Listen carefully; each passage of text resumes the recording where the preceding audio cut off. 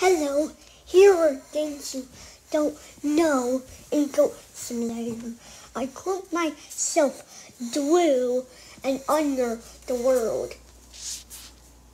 And here are things I'm going to show you. First thing I noticed, the lady and men have teeth. Look, they have teeth. They have teeth. And also, maybe they used to open their mouths.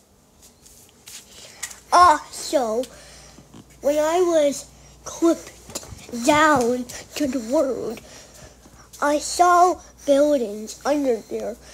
Maybe there used to be more buildings in the world. Take a look at this.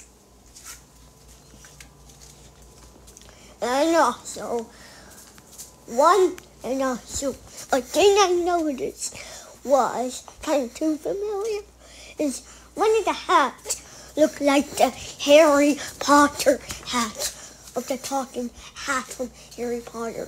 Look at this. You see the similarities, except the hats don't have a face. And um, and also something I found was interesting. I found this, a counter. Maybe there used to be a person here. And I also found hills in the sky.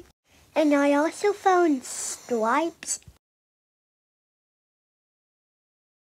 I also found building windows under a building.